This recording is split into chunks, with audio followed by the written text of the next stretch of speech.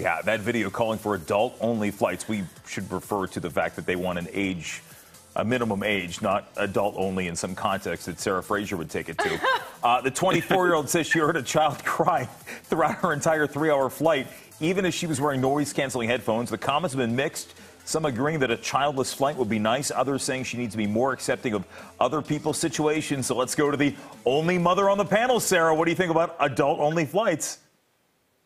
Look, I'm here for it. I mean, you know, I used to bitch about these kids on airplanes all the time till I had one. Now I'm on the flight. Oh, trying to like get my kid to be quiet, asking strangers for favors. You know, it's always like life always comes full circle. But I don't blame people. When I was like young, I always dreaded getting on like an airplane next to sitting next to a kid. And I mean, now I'm on there and I'm like, oh, isn't my kid so cute? Will you like hold the diaper bag? It's terrible. You see this, right? Like you're about to board and you see all the groups that are going ahead of you, and you're like, oh my gosh, those kids, I can see them crying. Like you already can anticipate the ones that's gonna be shrieking throughout your six hour flight out west. Yeah, I'm here for it. I say I'll pay an extra whatever it is to get on a flight where at least I don't have like that constant, like, will I be having my seat constantly kicked by a two year old that just can't sit still? Like, I get it. I understand that you can't tame all the children, but I also would like to enjoy a little tranquility. Uh, anytime, Michael, that I bring anything up to this extent, people people say as a yeah. man, I do not have a right to weigh in on this one.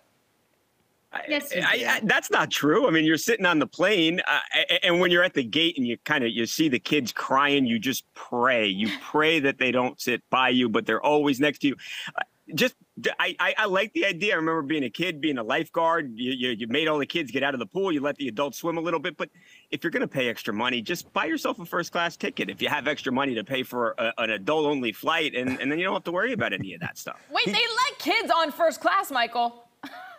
Yeah, but you're far, Marina. You're far away. That's you, like the ultimate like this when you're playing like triple the price like and you got a kid. Hold, hold on a second. What have you become? Like, do you not have any New Jersey left in you that you just so cavalierly oh. said, "Oh, just take a first class flight"? Let me tell you what happened, Jim. So it was yes. a few months ago, and I was taking my lowly little coach ticket back to New Jersey yeah. for cousin's wedding or something, mm-hmm. and they gave me an upgrade. And, and, they only charged me like 50 bucks for it. And, and I have not sat in, in, uh, in coach since, and I have no money now. So, you can't go back. I've yeah, I've become b- very bougie. New Jersey's all gone. Okay, I, I, I, I applaud that. I applaud that. All right.